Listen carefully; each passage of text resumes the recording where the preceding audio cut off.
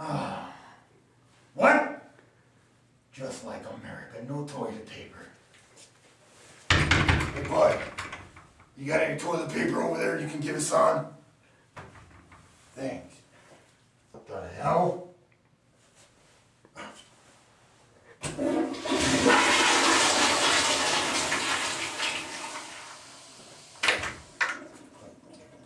I just took the biggest Harker Dirge in there, and there's no toilet paper.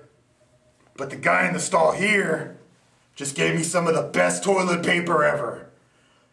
This ain't two ply, this is three ply. I've got to finish my business. Harker, I'm coming for you.